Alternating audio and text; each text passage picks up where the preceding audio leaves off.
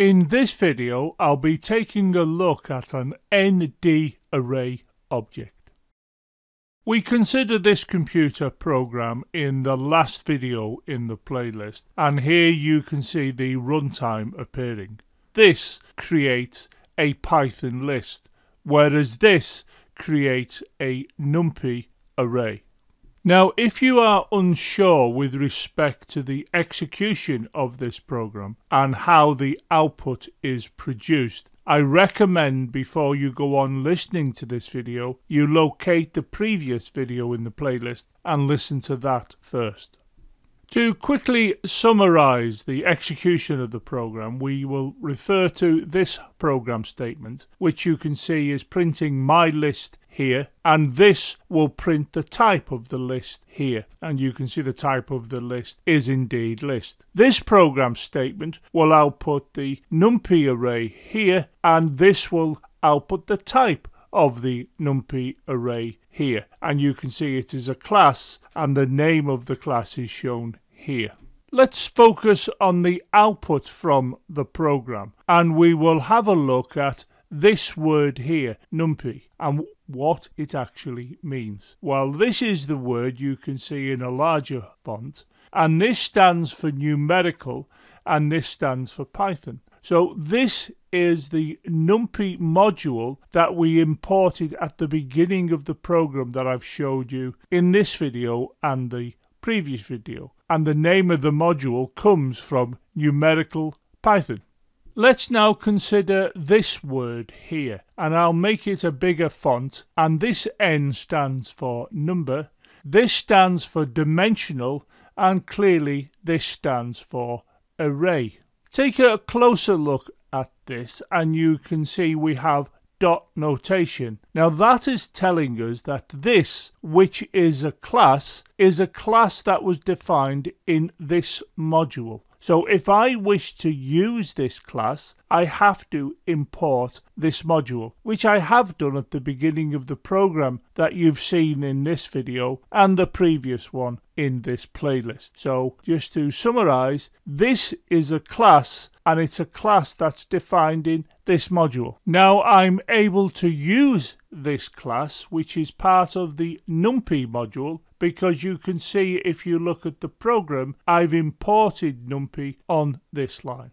Now consider this line of code that I've extracted from the program we're concerned with in this video. And you can see I'm creating a Python list. Now I can produce a schematic diagram which helps me think about the structure of a list and it would look something like this here you can see it's got the name my list and it's got the content as you would expect from here and it has the index from 0 through to 4. If you now consider this line of code which is responsible for producing a numpy array, what it will produce is this which you can see has this name, it has the contents 1 through till 7 and this is the index. Now if you consider both the diagrams, you may be forgiven. Well, look, they're the same structure, but they're not because what we have to remember and what we have to realize is that the class list was responsible for producing this. So what I'm highlighting with the arrow is an object of the class list. Whereas if we consider the other diagram,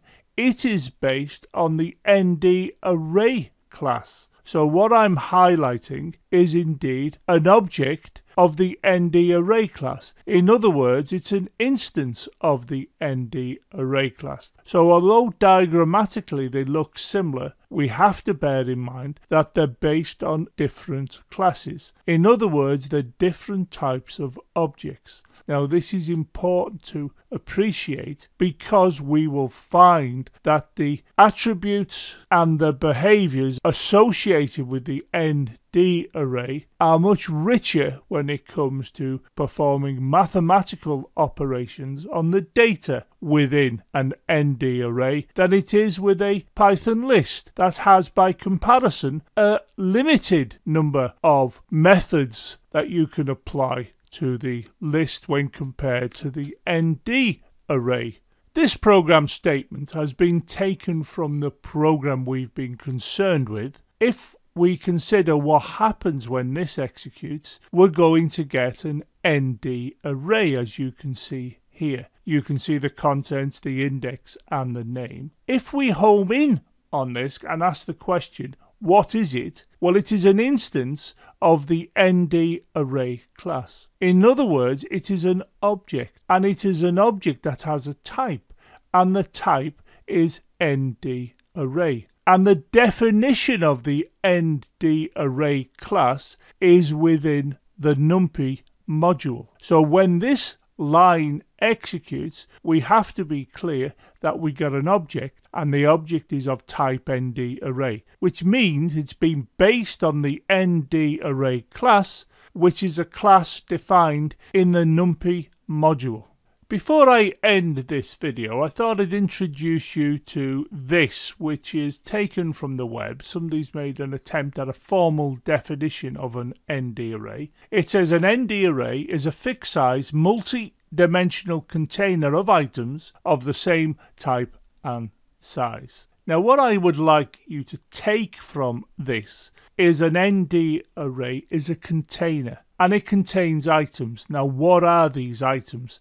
Well, they're data. They will be a data set. So an ND array can hold lots of data and can manipulate this data efficiently. What you've seen in this video is one type of an ND array. The clue is in this name here, multi-dimensional. There are zero-dimensional ND arrays, one dimensional, two dimensional, three dimensional. I haven't shown you all of those in this video. I've just introduced you to one of the simpler types of ND arrays you can have. I'll be covering the other dimensions later. So N stands for number, D stands for dimensional, and array stands for array. It's given this name because we can have the array having many dimensions as I've just outlined. Please consider subscribing to the channel and click the bell to ensure you get an update every time I upload a video. Maybe you would like to consider supporting the development of these free videos via Patreon. In addition, why not follow me on Twitter and also check out the supporting website.